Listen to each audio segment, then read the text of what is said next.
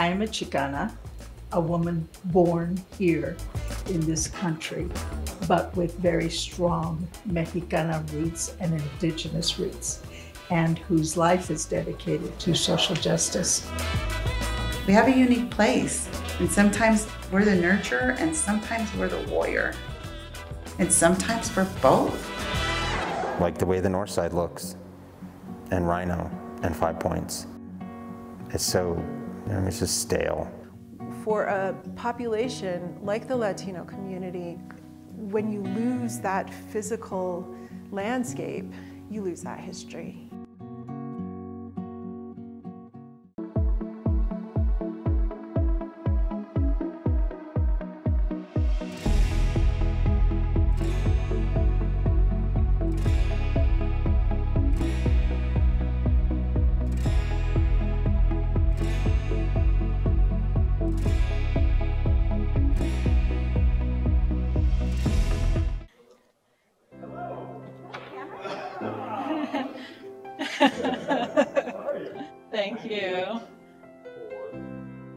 Yeah, yeah. This is Deaf Awareness Month this month. Yes. I'm sure if you knew, we've been celebrating Deaf Awareness Month. So we wanted to teach you how to sign Happy Deaf Awareness Month. How do I say great?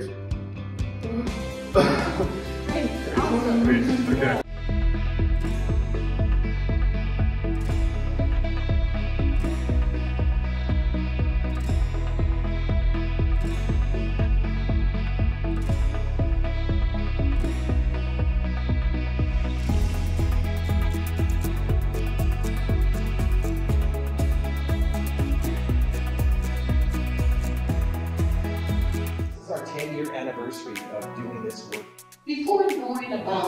Homelessness and financial empowerment, who talked about financial insecurities at the dinner table?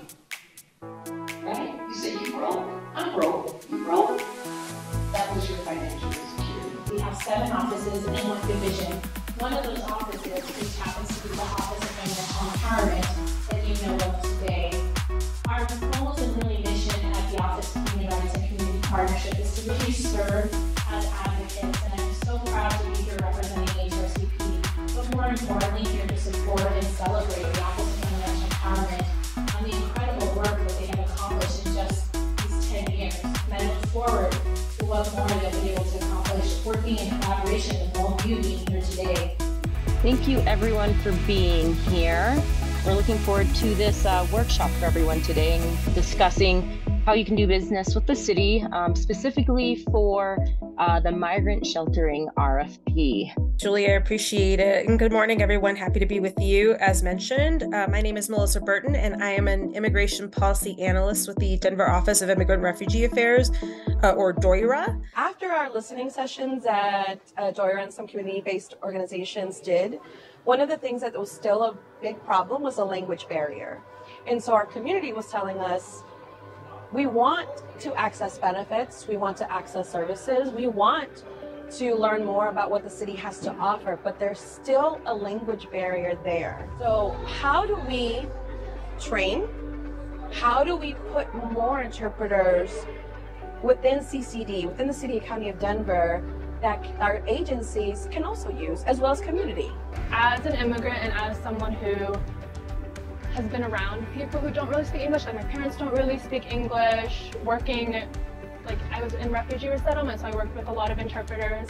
I think I just want to really help people and serve the community, especially Korean community since I'm Korean and I have a lot of empathy. I gained a lot of skills and knowledge and Giovanna, the trainer, is just so amazing. She's so knowledgeable, but also just really engaging, made it really fun. We were able to work together with so many different languages, and so it was just really, it was really cool. We are excited to be launching a new project called Good Access is Good Business. And the thought behind it is that if your doors or business is open to all, then more people are going to come in, and that includes people with disabilities. I brought the Division of Disability Rights out to Bluff Lake Nature Center so that we could look at the accessibility features that are already in place and really how usable it is to people with various types of disabilities. I had been going through some tough times in my life, and I ended up getting a divorce in 2021 after the pandemic. A lot of things happened.